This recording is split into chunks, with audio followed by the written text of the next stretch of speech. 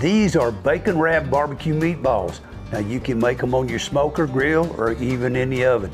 These are delicious and perfect for your 4th of July. These things are so easy, and this is how you do it. Let's preheat your oven, smoker, or grill. A temperature between 350 and 400 degrees is perfect. And of course, my target temperature is 375 degrees Fahrenheit. I'm going to start with a bag of fully cooked meatballs. And yes, your homemade meatballs will be much better, so go for it. The first thing you need to do is determine exactly how many meatballs you have. Now, since I have 14 meatballs, I need seven slices of bacon. Cut that bacon in half. Now wrap the bacon around the meatballs and then pin it with a toothpick. Now I'm just gonna spread those meatballs out on a rack and then I'm gonna cook for 30 minutes at 375 degrees.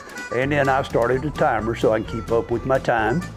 While these meatballs are cooking, it's time to make up my barbecue sauce blend. Start with several spoonfuls of grape jelly. And yes, break up that grape jelly with a fork. Add in one bottle of Bullseye barbecue sauce. Follow that up with a bottle of Stubbs barbecue sauce. Now add in a couple of spoonfuls of minced garlic. Give it a good mix and you're good to go. Now this makes way more barbecue sauce than you'll need for these meatballs. When your meatballs have cooked for about 30 minutes, you need to check and see how that bacon looks. If it's good, then you want to give them a dip in your barbecue sauce and cook them for another five minutes. At the end of that five minutes, you can either take them off or you could give them another dip in the barbecue sauce and cook for another five minutes.